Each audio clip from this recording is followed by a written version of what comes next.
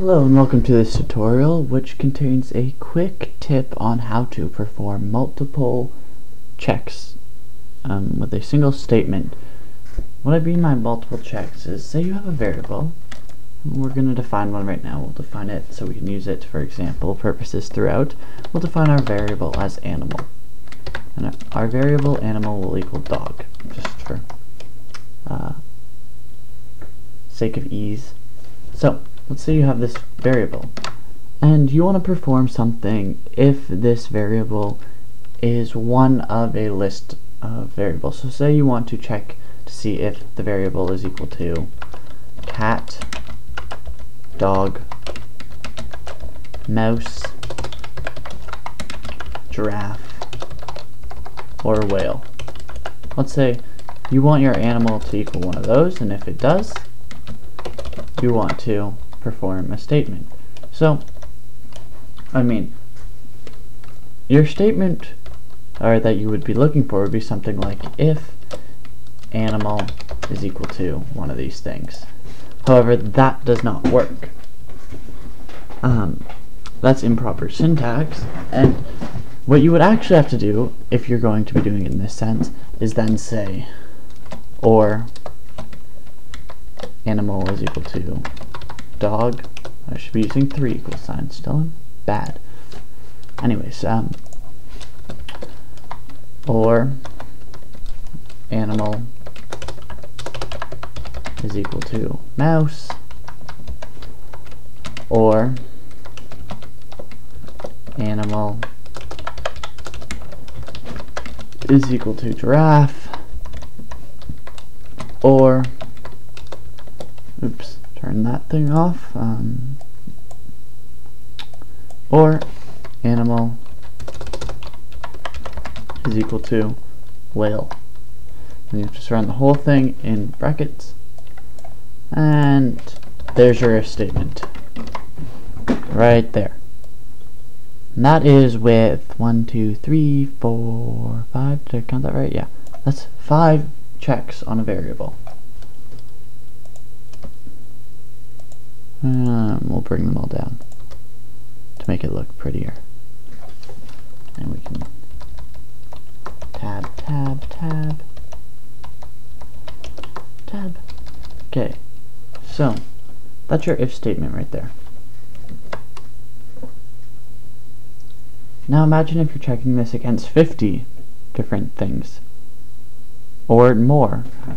It could get very tedious to have to repeatedly type out or next condition. It works, so I can say echo true. There is nothing incorrect about this. And we'll echo out true. Um, however, it is not very um, efficient for the coder. Say you're trying to program a website for someone and you're on a deadline. You don't want to be sitting here typing out if statements that are uh, hundreds of parameters that have hundreds of parameters or conditions rather um, that's just not an efficient way to spend your time and so my quick tip fixes the need for this what you're going to be doing is making use of an array. So we're going to be called, or we're to make an array called accepted right here. I have a tutorial on arrays if you don't understand this. We're just going to basically define it. And what we're going to do is within this array, put all the checks we want to do. So we'll put cat, we'll put dog, we'll put mouse, whale, and giraffe. All the same checks. So there's our um, list of accepted animals, the type of animals we want to check it against. Then what you're going to do is use the in_array function, in array, in array. What this does is it checks to see if the provided string um, is within the provided array.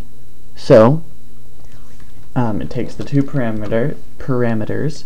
Uh, first one would be animal, second one being accepted, and it will return true or false. So we can say if in array animal accepted um, echo true. and we'll refresh the page. And you can see we get true. And we'll add on an else statement here. Else echo false. So, um, let's change this to dolphin. Say our animal was dolphin. So now we're checking if this animal is in this array, in array, animal accepted. If it is, we're just going to say true. If it's not, we can say false. And we can refresh this page. See, we get false.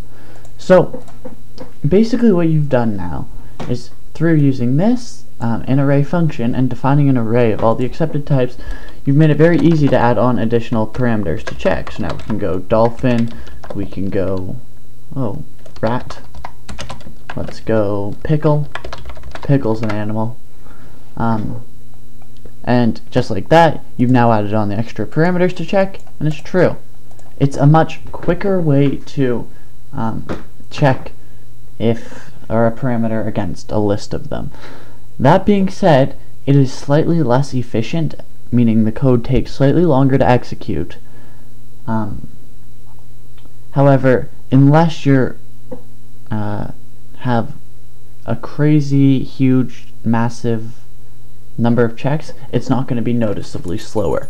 So, that is to say, the amount of time spent is, um, or the amount of time saved, rather, is worth the slightly longer page load. Um,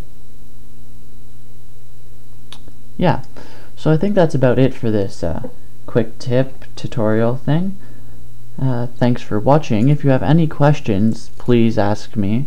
Uh, anything you would want to suggest or any tutorials you want to see, feel free to comment or send me a message on YouTube. Thanks for watching.